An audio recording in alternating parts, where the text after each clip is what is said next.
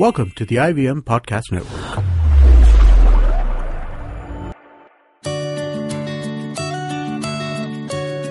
In 2015, Ambika and Hoshner quit their jobs and set out to rediscover the country through planes, trains, and rickety old buses. What started as a break has now grown into a life of travel and discovery. On this podcast, they take you through the highlights of their journey. This is the Rediscovery Podcast. In the last episode of this season, we take you to the forests of Bhandardara to witness a truly phenomenal sight. So, May and June, just before the monsoons, the forests in the Western Ghats play host to the mating of the incredible fireflies. And so we headed to Bhandardara, an hour east of Nashik, to witness this unique phenomena. Fireflies are not really flies, as you know the name might suggest. We thought they were flies too, but they are beetles, and they basically emit this glow by using bioluminescence. And the glow is to attract mates. So they're pretty cool creatures. You know, the ones here you see in this part of India are usually the ones that emit the sort of fluorescent yellow glow. But around the world, you have ones that emit, you know, orange, green, a pale red, and you know some of them emit smells apparently, all you know to attract mates. So you might have a sweaty smelling, you know, firefly. Well, I mean, women wear perfume, so it's kind of the same thing, I guess. Kind of the same thing, yeah. Men also wear perfume, yeah, not just women. So basically, we went in May 2016. Yeah, it was Hoshner's birthday. It was so my birthday. Yeah, so it was kind of a birthday. and the fireflies were something we wanted to see for a while, and it happened to be a time when we were not traveling elsewhere. We were in Bombay. We were in Bombay, so we decided, yeah. And uh, that region of the Western Ghats sort of is the hub to see fireflies at that time of the year, which is basically just before the monsoons, Yeah. end of May, early June, around the time the first showers hit. just before and just during. Yeah. Yeah. By the time the showers start getting heavy, they die out. So you need to, you know, make sure you go on time. Yeah, and they kind of die out, we learned, because they're so small, they get destroyed by the heavy rain. So that's really why. Delicate little they, creatures. Yeah, little, little guys. So anyway, we headed to Bhandardara to celebrate Hoshner's birthday. Now, from Bombay, a lot of people go to Purushwadi, which is a section of the Ghats that are easier to access if you're going um, from Bombay, Pune side. But we decided to go to Bhandardara near a village called Shendi, Shendi, which is a okay. So that's a different experience. And the reason we decided to go was because we just wanted to see the village and the fireflies. Purushwadi is a more immersive experience. You go, you camp. So if that's the kind of thing you like, then you could uh, definitely head down that side. So we got to Bhandardara and we stayed at the MTDC resort, which like all MTDC resorts is it's hmm. huge. Very decent. Yeah, decent, decent. Yeah, Food so is decent. Food is decent, places decent, rooms are good and large, and and obviously like all these tourism resorts anywhere in the country, they always have the best views. So the government takes like this spot and says, "Ha, ye acha hai." So the MTDC overlooks the Arthur Lake, which is uh, Or the Bhandardara Lake, as everybody calls yeah. it. It's a big word, a Bhandardara. Bhandardara. So this lake is sort of set in the middle of you know all these mountains, and the whole region is basically hilly, and it's all sort of circular around the lake. It's a pretty beautiful sight when you're driving up to Bhandardara. Also, it's very scenic, especially if you go in the monsoons. It's it's like the mad fluorescent green that you know Maharashtra gets in the monsoons. Yeah, and I mean, we were We went just, just before, the and it was monsoons, and it's still beautiful. Yeah. still really beautiful. So one can imagine how much more crazy it would be in or post the monsoon. So the lake is formed by a dam and is fed by the Pravara river. And because the resort is on this ridge high above the lake, you can see all these other ridges all around. And apparently, on a really clear day, you can see Mount Kalsubai, which is Maharashtra's highest peak. Yeah, so Kalsubai is pretty close to Bhandara, Bhandardara. Actually, it's just, I think it's like half an hour, 45 minutes away by car. Yeah, and then you can go. And you can do the trek up. The trek up. It's not so, is- it's not an easy trek, but it's supposed to be a pretty good trek. We didn't do it ourselves, though it's on our agenda to do sometime in the future. Well, we have many treks to to explore in Maharashtra. One of the things I think people do there is the Harish Chandra Gad Fort. yeah, so like any other place in Maharashtra, you know, it's full of forts. So you look in any direction, throw a stone, you'll see a fort. Right, right. So there's Harishchandra Gad. There's one more, right? There's uh, The Ratanwadi. Ratanwadi, yeah. So There's there's, many. I mean, yeah. So- So, there's anyway. So we are digressing from the fireflies. I mean, we got there and we just what? It was so it was cool up there because you're at a certain height, and we were with our friends, so we really just spent the the day chilling, uh, yeah, taking so, in so the views. basically we plan to go see the fireflies, obviously in the night, because that's when you know you can see them. yeah, it has to be dark. pitch black. yeah, so we had a guide who was coming down from Nasik to show us the fireflies, and he was supposed to, you know, come to the resort and pick us up about, I think it was six, Tea- seven yeah, in the tea time. Yeah, so he calls at six and says, "Yeah, we are just, you know, leaving from Nasik, so we might be a little half an hour, forty-five minutes late." Yeah, and and Bhandardara and MTDC is what? It's not that far from it's Nasik. It's pretty close it's to Nasik. A lot of people from Nasik and Igatpuri and that region yeah, go it's like there. a weekend day trip yeah. type of location for them. So we see, हाँ ठीक we'll come in half an hour, 45 minutes. One hour went, one and a half hour went. And we are getting a little panicky, right? Because we've come to see this fire. Everyone's pumped, like, oh, fireflies and all. And this guy is nowhere to be seen. At one point, he's not picking up his phone. And nobody knows where the hell he is. And then I think he lands up around 9, 9.30. No, no, it wasn't that late. It was pretty late. It was like seven. It And- felt late because yeah, it gets dark. And he said, okay, okay, you come to this spot and we'll meet here. And so we find our way to that spot. And and this guy has come with half the aunties and uncles in Nasik, basically.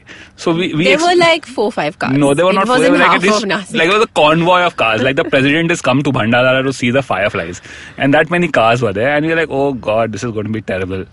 But it worked out okay because for whatever reason the guy took a shining to us. So he came in our car, and our car was the first one in the, the convoy. first one, and and he gave us all this inside these eh, tidbits, I Yeah, guess. I guess he made up for his tardy behavior because he knew his stuff. He was And- pretty uh, good. And that's why we had booked him because we heard he was really knowledgeable and he's from that region. So he really knew the ins and outs of the forest. He knew all these cool facts about like the tribals in that region, about, you know, the trees and also yeah, he took us to this very cool temple to see also, the, the Amruteshwar. Amruteshwar temple. Yeah. So most temples in India you see are built in granite or sandstone. This one was built in volcanic rock. And it's black. So it was, yeah, so it looked very different and it was nice. It was like lots of carvings, just dark, you know, structure, not very large, but pretty intricate. And old, old. The temple was like, I think, around 1000 years old, and it's a Shiva temple. And the style, we were told, was kind of on the ancient Hemadpanti style of architecture, which is similar to the temples we'd seen in Lonar, which you can hear about uh, on our Lonar podcast. Yeah, so there is, you know, sort of similarities in how the temple was built and the detailing and all the carvings. And the cool, I mean, like Hosha said, the cool part was it was all black, but the inside is all color because, you know, we can't have, I think, black on the inside. But must visit on the temple. So then what? We pass the temple and then yeah, he so takes us to, for a temple, checked it out, and then everyone was like, no, no, come on, fireflies and all. yeah, fireflies. We were really worried we we're not going to see them, you know, because we've been waiting for the last four, five hours. So we get uh, past the the temple, and then we are climbing up the ridge. And at one point, he's like, "Okay, now we'll stop here." And we sort of stop all the cars on the edge of the road, on the edge of the forest. Yeah, so the setting is such that it's pitch black. Okay, you're inside in these. Uh, you're literally in the forest in Bhandardara, and it's there's no lights. There's no light pollution at all. And the only lights is your headlight. Now the thing is, these fireflies you can't really see them when your headlights are on. So Or every- any light is on. Yeah, That's so why you go. every you know couple of minutes he'd say keep driving but turn your lights off. So you're driving this car in complete darkness, and this guy he had that he knew where to stop. Now a lot of people go to see the fireflies. They go randomly walk around the place, and believe me, you're not going to see them. You need to know how to go about spotting them. So really, if you decide to do this, please take a guide. Whether you take one from Nasik or you take one from somewhere else, but take a guide along because there's a way to spot them which you simply will not be able to if you're doing it on your own and just walking randomly through the forest. Yeah, which is what we realized once uh, we stopped the cars and you get out of the car. And now he's very particular about telling you again and again that photography is prohibited. Don't make sudden movement. So don't make a lot photography is of not prohibited. You can't use your flash. Fla- yeah, flash photography, sorry. And because these fireflies, these winged beetles, are very sensitive to sudden noise and light. To any disturbance also. Yeah, so you have to be really quiet. So everybody gets out of their cars and we're all standing around him and he's pointing in one certain direction. So we're all looking. but you can't really see anything. And then suddenly your eyes adjust to the extreme darkness around you, and then you see the fireflies. And it's That's like pretty magical, huh? Whoa, It's yeah, pretty yeah. It was very. It was. It was like these yellow little bits of yellow lights dancing all over the place. Yeah, it was a, it was waves. Yeah, So when you, I think when you think about fireflies, at least when I thought about it, it, it they always in my head they were like you know blinking lights in the forest, like fairy like a lights. blanket.